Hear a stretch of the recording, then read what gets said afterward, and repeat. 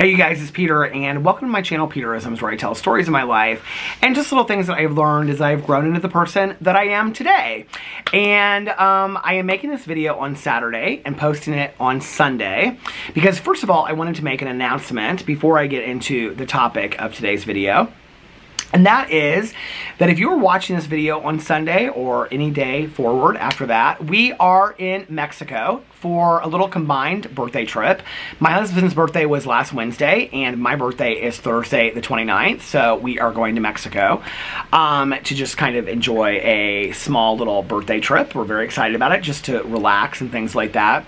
Um, sometimes before I go on trips, I pre-film videos for several of my channels, but this time I decided that I was just going to film a video and let you guys know that I was going to take some time off and um, this will be my last video for a few days, and when we get back to uh, Indiana, I will be filming my next Peterisms video. So I just didn't want you guys to wonder where I was or why I wasn't posting videos and that kind of stuff.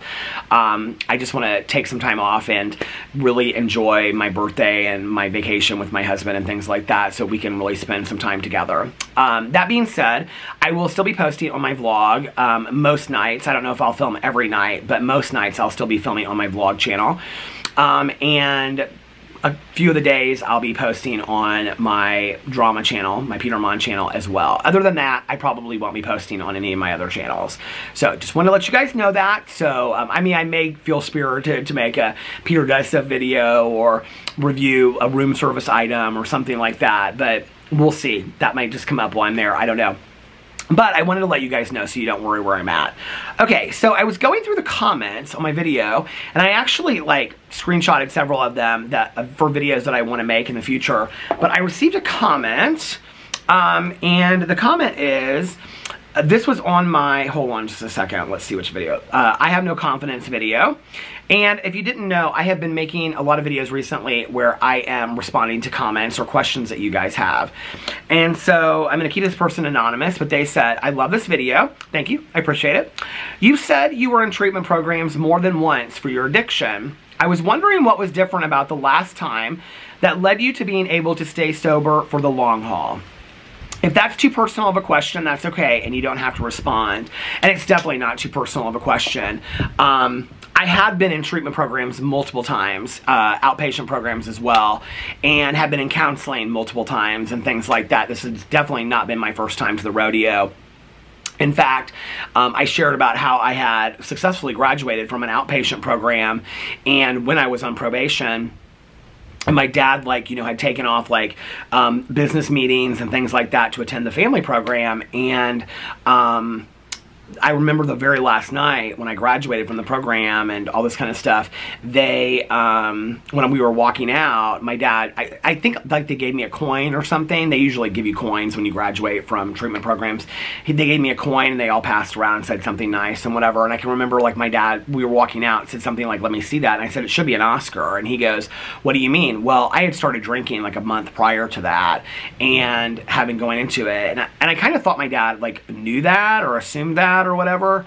And I said, well, I've been drinking for a while. My dad was so upset. Like that was really the beginning of the end of my dad. Like, eh, like he really started to see the truth for what it was. The last time that I got sober, um, I mean, I think there was a combination of reasons why it lasted the long haul. My dad is a huge part of why it lasted.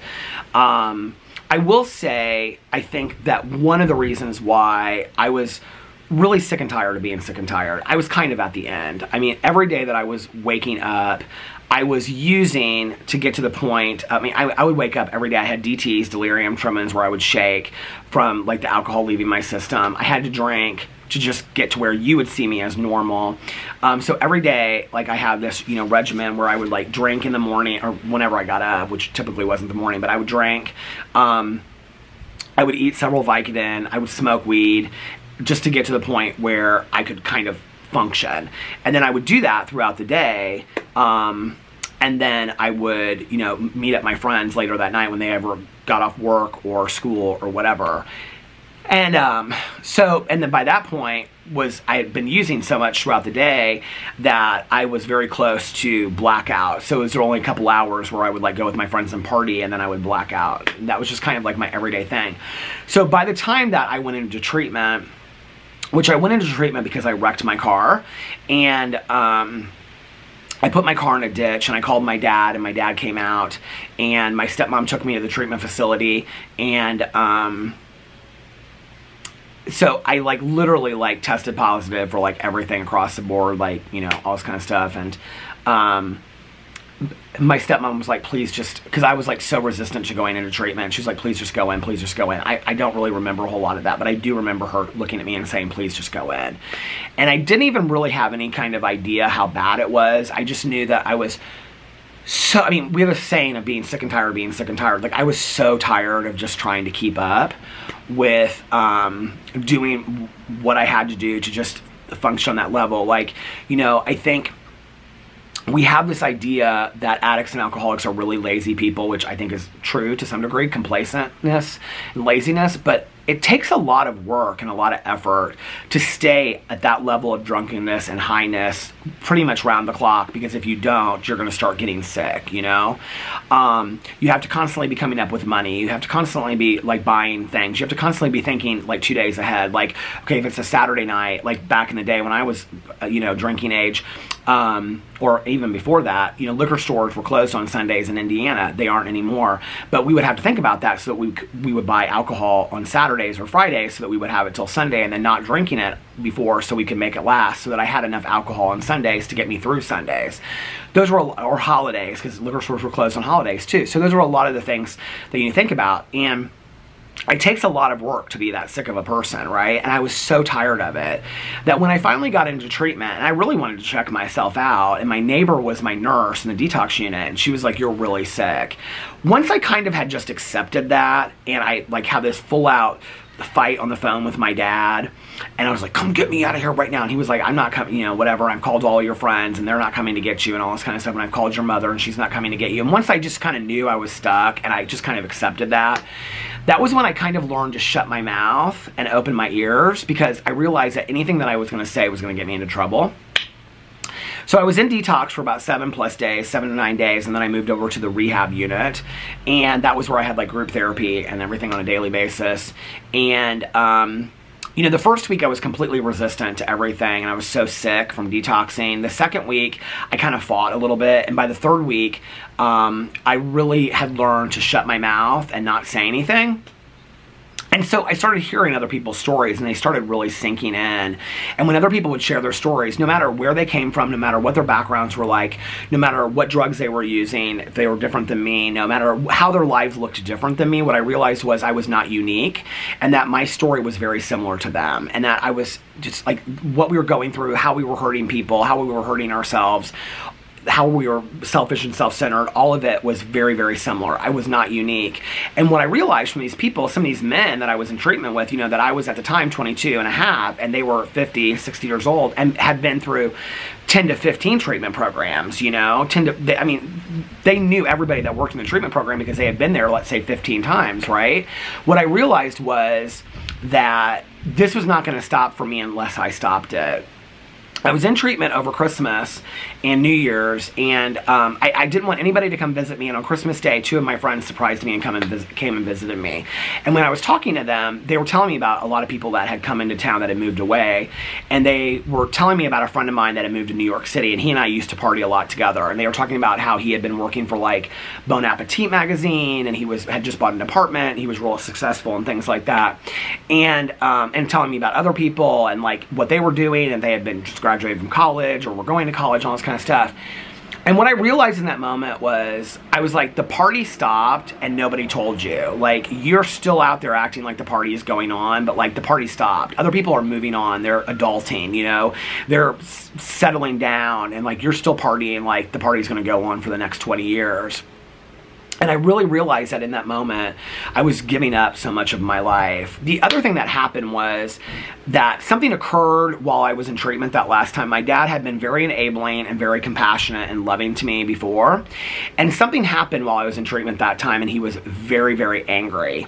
And I think a lot of it had to do with my stepmom, because I think my stepmom had kind of had it. You know, she had gone through this deal in her history, in her past with like friends and family members and things like that. So she knew a lot about like people using drugs and drinking and, and putting you through that. And so she was kind of like educating my dad on setting limits and boundaries, and he didn't want to do that. In fact, like a week before I went into treatment, my stepmom said something because my dad was giving me money.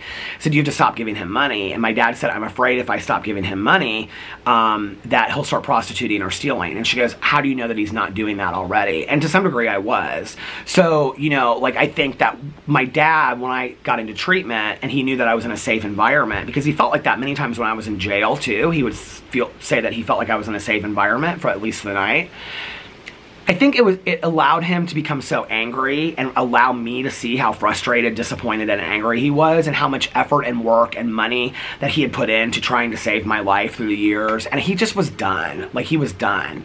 You know, and I think to some degree he kind of buried me while I was in treatment because he came to me and he said, like, I'll never forget, when I got out of treatment, I had to sign one of, sign one of these behavioral contract kind of things that said, like, you know, you'll go to so many, uh, 90 meetings in 90 days, you'll have a sponsor, I can talk to your sponsor, my dad. Um, you'll go to therapy twice a week, you'll go to aftercare, you know, all this kind of stuff. You'll submit to random drug screens. And I can remember at the bottom of it, there was nowhere where I signed it. And um, the one thing they wanted me to do that I wasn't willing to do, which in retrospect I wish I had done, is they wanted me to move into a halfway house. The doctor and my dad. And there was one halfway house in Indianapolis at the time, and it was at St. Vincent Stress Center, and I didn't want to go there. I had, like, I was like, no, you're not going to put me there. Um, in retrospect, I've had so many friends of mine that had really, really, I've had you can use anywhere you want to use and I know and I know that I I know people that have had bad experiences in halfway houses but I also know people that have had fantastic experiences in halfway houses um, so I went um, I went back to my apartment, but before I went to my apartment, my dad was still paying the bills and things like that. Um, I had this behavior contract, and I remember sitting there with my dad and the doctor and looking at it, and I said, "Where do I sign it?" My dad looked at me and goes, "You don't sign it." And I go, "What do you mean I don't sign it?" Because I had always had all these behavior contracts in the past that I'd sign it. He goes, "You don't sign it." He goes, "If you don't agree to it or you break one of the rules on there, leave your keys on the counter and, and get out. I'm done. I'm done with you." Like period in a story. And he was done right? I really think if my dad hadn't allowed me to see how angry and disappointed he was i really believe if my dad had not set such strict limits and boundaries i don't believe that i would be here today. And i really think that is what made the difference. I think my fear of being homeless i think my fear of not knowing how to take care of myself i think the structure that was provided for me that it was so easy for me just to follow these things I think all of that allowed me, and also the ability to set up a foundation for my recovery of going to meetings every day and things like that, allowed me to stay sober. And I think that's why I'm here today. I think that's why this time made a difference. I think I had to really see how I was hurting people and affecting people. And I'm glad that they didn't stand in the way of that, you know? I'm glad that my family and my friends let me know that they were disappointed in me. Um, not a lot of my friends, but a few of my friends let me know that they were really worried about me and they were really disappointed in me. You know, I think the thing that was the weirdest to me was that my closest friends, even the friends that I was using with, the closest, like when they when things came out and they found out that I had been like smoking crack cocaine and things like that, and like they were like, Peter, I didn't know that, and they're like, that really worries me. Like, I mean, we were with you all the time when you were out, and where were you doing this? And I was like, well, I can, the last night I went to this alley and, you know, smoking crack with this guy in this alley outside the Vogue and, you know, Broad Ripple, Indianapolis. And they're like, but we were with you that night. Like we're, you know, and so like they were very scared because what they realized was there was a life that I was presenting, there was a life that they were aware of, and then there was a life that I was keeping hidden from everybody, even my friends that I was using with. And I think that that was terrifying to them because what they realized was that they were trying to control what they could and help me. The other thing I, I, I, think I realized was there were a lot of people that I used with back in the day that I thought were really problem users, which they were. Um, I unfortunately had a lot of friends of mine that I used to use with back in the day that have since passed away from overdoses and things like that. I've also had a lot of close friends of mine that I do believe at, they were substance abusing for a period of time. I do not believe that they're addicts or alcoholics, that they have stopped and gone on and they either don't use at all or they have a glass of wine here or there every once in a while, you know. and they're very high functioning today in society and they're successful and they own homes and have kids and are married and things like that you know and and they just kind of stopped partying you know at some point um, i wasn't able to do that. I, I think i needed to be removed from my environment. I think i needed to be removed from the people. My counselor when i was in treatment she also said you're going to call your friends that you hang out with and you're going to tell them that you can no longer hang out with you which most of them were kind of like they didn't really understand why i was calling them. Um, and i can remember that was like a huge deal for me. I think had I not done that, I think I would have very much like gotten out of treatment and manipulated that situation. I think it was a combination of factors, you know, that kind of all lined up and came together and really helped me to be successful and for um, me to still be here today. And I think, you know, I would I think fear kept me sober this first six months because I was so scared of um, of going back out and using and being homeless because I knew my dad really meant it. And I knew I had like no friends' couches to sleep on. They were all done with me as well. So I knew I had really nowhere to go. And so I really was just staying sober out of fear. And then what happened is at my six month uh, point, I got my six month coin. And I remember walking and I went to a meeting at the treatment program that I went through. And I went out and I was standing in the parking lot and I remember standing there in the sun. It would have been around around this time. And because um, my sobriety birthday is December 17th, so it would have been June 17th or something like that.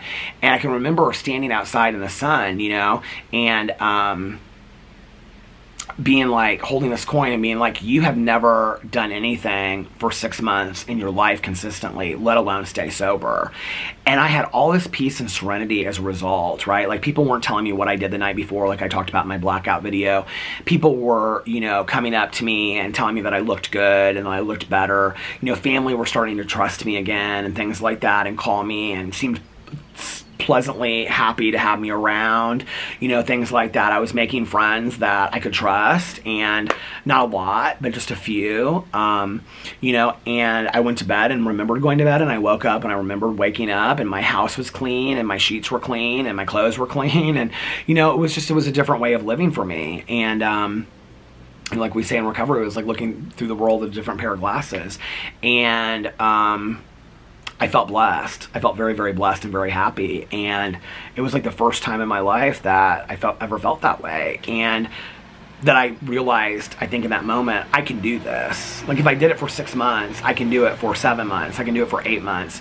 And I can remember I kept a calendar in my kitchen, in my apartment, and for the first two years of my sobriety, every single day I wrote down like one, two, three, four on each day of like how many days I was sober. I counted for the first two years. And I was so proud of each and every single day that I got. I'm still proud of each and every single day that I have sober, you know? Um, and so should you. I love that so many of you in the comment section just recently said that somebody said they had six months sober and somebody else said, you know, something else. And it's like, it's so cool to see that because I think for a lot of people that read that, what they see is it's just time. It's just a date, six months, six days, six weeks, six years. You know, it's a life. You're saving a life. You're saving your life, and you're saving other lives, and you're now choosing to affect people in positive ways. You know, it's amazing. It's amazing. You're a miracle. You know, we're all miracles, and um, so anyway, I hope that you enjoyed that. I love that. You asked that question because I think it's a, very important question about what makes a difference when we finally make pivotal choices in our lives that affect us in positive ways. I think it's a good question. I think that could be a question I could ask myself about many different things that like, well, so what happened this time finally, you know? Anyway, um, let me know what you thought about that in the comment section below. I love you guys and I'll see you when I get back. Bye.